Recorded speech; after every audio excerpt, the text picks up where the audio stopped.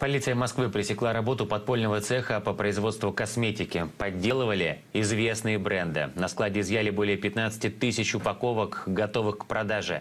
Четыре человека задержаны. Дмитрий Горн узнал, как изготавливали контрафакт. До этого момента шум линии упаковки в цеху не смолкал. Ночами здесь кипела жизнь. Сразу на нескольких десятках станках фасовали, упаковывали и отправляли в розничные магазины различные порошки, гели, ампулы с непонятной жидкостью. Но незаконно. Можете объяснить, что происходит? Оперативников рабочие подпольного производства, по всей видимости, не ждали. Визиту правоохранителей искренне удивляются и на складе, и в офисе. Но вас не удивляет, что такого полиция приехала? Удивляет, очень сильно удивляет. Огромные пластиковые бочки с содержимым, очень похожим на крем. Именно так в коридорах хранилась продукция. Вдоль стены выставлены, по всей видимости, готовые к отправке коробки с товаром. Здесь же в рулонах упаковка будущего контрафакта. Есть и свои печати, с которыми могли быть проштампованы упаковки для еще большего убеждения потребителей в качестве продукции. После предпродажной подготовки от оригинала продукцию практически не отличить.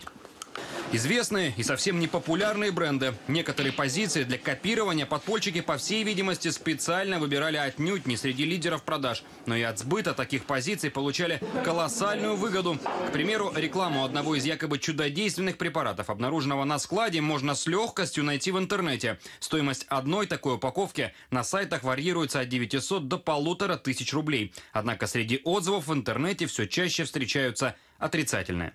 В целом, откровенный развод, начиная от состава, заканчивая действием и ценой. Реклама продумана хорошо, но продукт не стоит своих денег.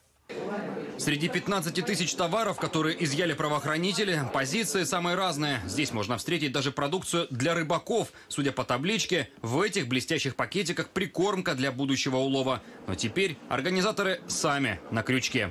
Установлено, что в Москве в одном из помещений на Дмитровском шоссе злоумышленники изготавливали косметические средства под видом известных торговых марок. По данному факту следственными органами полиции было возбуждено уголовное дело по признакам преступления, предусмотренного частью 4 статьи 180 Уголовного кодекса Российской Федерации. Пока следователи продолжают подсчитывать, какой ущерб нанесен правообладателям брендов, суд отправил одного из задержанных под домашний арест, еще троих под подписку о невыезде. Подозреваемым теперь грозит крупный штраф или лишение свободы сроком до 6 лет. Дмитрий Горн, Вести.